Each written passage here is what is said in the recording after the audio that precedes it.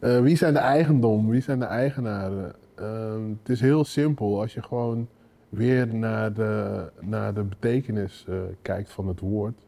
Is het dus eigenlijk dat volk eh, of het land of die groep mensen. Die zijn de rechtmatige eigenaren van, ja, van, dat, van dat eigendom. Ja. De oorspronkelijke eigenaar is het, ook het oorspronkelijke land waar het is geroofd en gestolen. Rechtmatige eigenaren van de roofkunst is de people van wie het is geroofd, uiteraard. En nou wat je ziet in het hele koloniale verleden is dat eh, in het bijzonder Europese eh, mensen, mensen vanuit het Europees imperialisme, of je zou kunnen zeggen het westers imperialisme, want de Amerikanen hebben ook een aardige vinger in de pap gehad.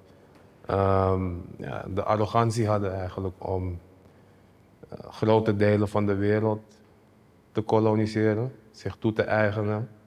Ehm, ja, eeuwenoude of misschien wel millennia oude culturen ehm, te zien als backwards, als, als onbeschaafd, minder ontwikkeld.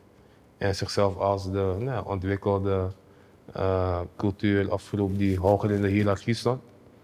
En nou, dat gaf hen, vonden zij het recht om andermans cultuur toe te eigenen objecten uit die culturen te nemen en te plaatsen in musea als ehm, nou objecten die iets zouden vertellen over hè, de ander. En ja, ik denk dat, het, ja, dat we nu in een tijd leven dat we heel kritisch nadenken en reflecteren over dat soort processen.